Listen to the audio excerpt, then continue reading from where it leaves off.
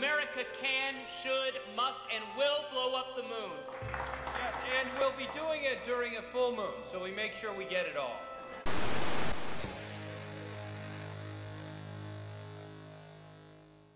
Greetings, children. Today I'm going to tell you a story, a story that takes place in the year 1958. We're in the middle of a tense flexing match with Russia called the Cold War. All of a sudden, the Air Force was like, Bruh. Bruh? Bro, we should like... What, bro? We should like blow up the freaking moon, bro. Bro. That led to the creation of a secret military project called A119.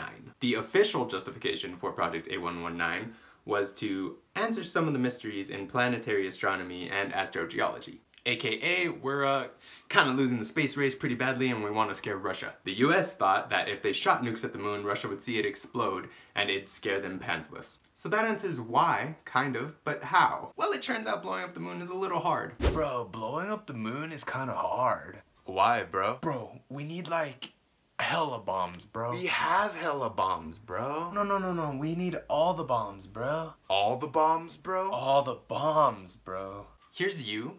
Here's the Tsar Bomba, the largest nuke ever detonated in history. You need about 600,000 of those to blow up the moon. Also, you can't shoot that many nukes from Earth. You'd have to actually take them up to the moon and plant them each one by one in their own individual craters, and then come back down to Earth and blow it up from there. Bro, that sounds like really hard. Yeah, bro, screw that. Let me call my buddy Carl. He's really smart. I bought him some Zog ones, so he like owes me. It. Hey, Carl! I told you to never contact me unless it was an emergency. Carl, we're trying to blow up the moon, bro. Can you help? You can't blow up the moon, idiot.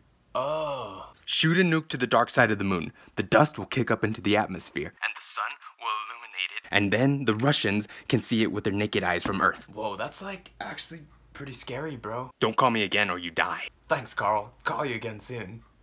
I love that, bro, bro. Making a cloud of dust visible from Earth, though, was totally possible and way, way, way, way, way easier than exploding the entire moon. Hydrogen bombs, they were a no-go because they were way too heavy. But a regular missile though? Well, hit the moon at just the right angle with those and you got yourself a big old cosmic middle finger pointed right at the commies. So we were totally 100% ready and willing to do this. But then... Alright bro, let's go. Bro, wait.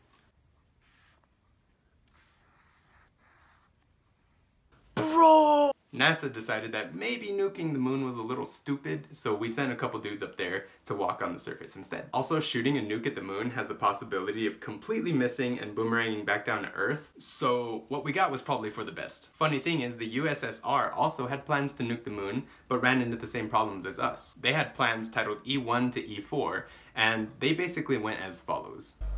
Дальнейшее углубление двухсторонних торговых и инвестиционных связей безусловно, отвечает коренным интересам двух стран. Я хочу пожелать вам успехов и благодарю вас за внимание. Спасибо.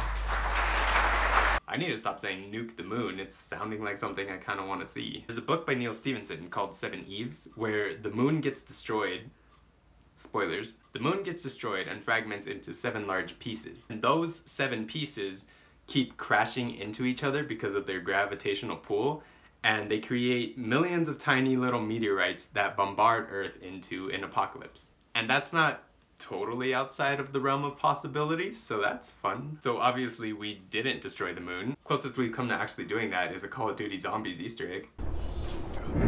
And as of 1967, the Outer Space Treaty banned the militarization of space and therefore the use of nukes on the moon. So it'll probably be there for a little while. Just kidding, the moon is fake, the earth is flat, Australia isn't real. Wake up, sheeple!